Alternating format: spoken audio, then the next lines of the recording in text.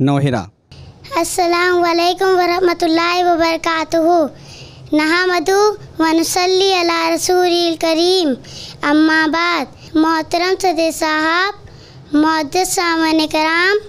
आज के इस प्रोग्राम में मेरी तकरीर का अनुमान है दुआ। अल्लाह ताला ने कुरान मजीद में फरमाया अदुआ वल इबादा। यानी दुआ इबादत है। जो लोग दुआ नहीं करते वो रब की इबादत से एराज करते हैं। दुआ ही तकरीर के फैसले बदल देती है। मौजूद सामीन दुआ की कबूलियत के चंद आदाब हैं। नंबर एक, वज़ू करना। नंबर दो, किबला रुको कर दुआ करना। नंबर तीन, दुआ के वक्त हाथ उठाना।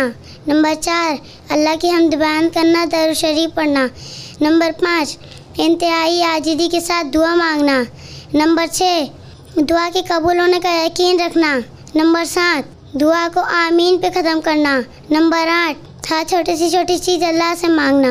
अब मैं आखिर में अल्लाह ताला से दुआ करती हूँ कि वो हमें कुरान हदीस के मुताबिक दुआ करने की तौफीक अदा फरमाए। आमीन, सुम्मा आमीन। वस्सलाम वालेकुम रहमतुल्लाहि व ऐसे ही और वीडियोस बनाने में हमारी मदद करें।